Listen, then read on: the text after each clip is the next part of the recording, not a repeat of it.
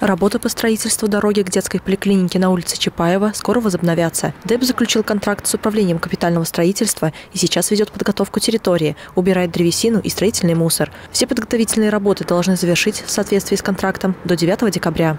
А проектом предусмотрены следующие виды работ.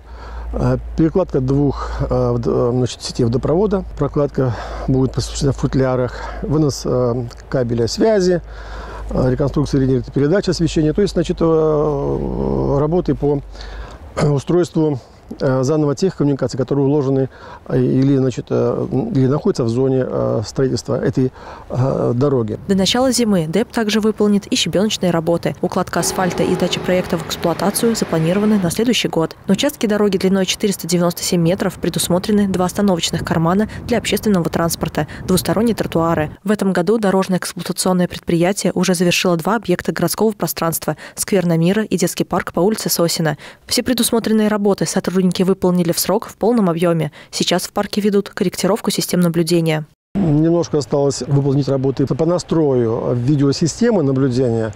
Значит, у нас 2-3 камеры а сейчас еще не подключены.